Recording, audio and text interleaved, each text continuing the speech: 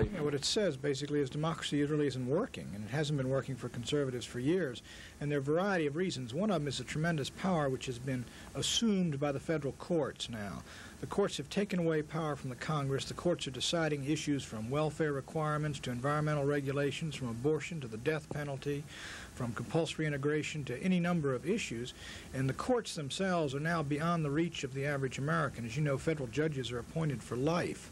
And once appointed to the bench, they tend to take their ideology and to translate that into public policy. And there's no way the voters, whether the conservative or liberal, can affect those court decisions. So you get the situation where 95% of the country say and 50% of the black Americans oppose forced busing is unworkable, and yet the courts continue to hand down those decisions. That's one of the problems.